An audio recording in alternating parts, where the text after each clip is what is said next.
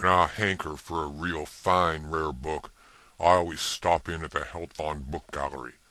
I find it to be a manly, rugged bookstore filled with books that make my chest heave from a combination of expectation and release. Spoken like a true barbarian. Although I too find the Heldfond Book Gallery to be a most illuminating experience, a bastion of civility and intellectual decoration.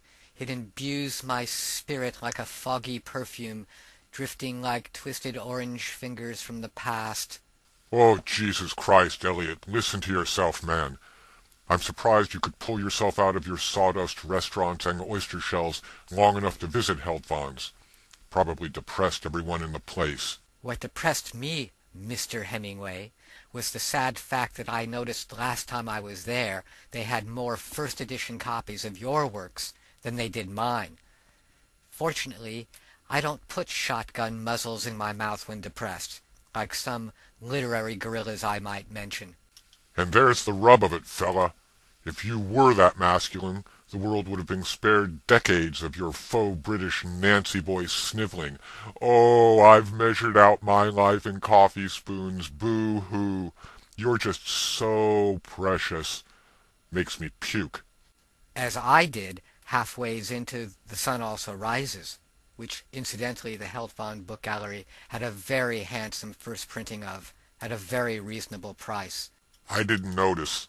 I go to Heldfond's for the sets of leather. Nothing like the smell and feel of tanned hide make a man feel vital. Yes, well, hardly surprising that. I prefer the antique children's books, the wonderful illustrations, the delicate sense of wonder. Perfectly natural, for a man who writes poems about cats and disturbing the universe, the world ending with a whimper and all that bunk. Hack. Brute. Why don't you go hunt something? Why don't you go find a table and etherize yourself? Oh, do shut up. No. Yes.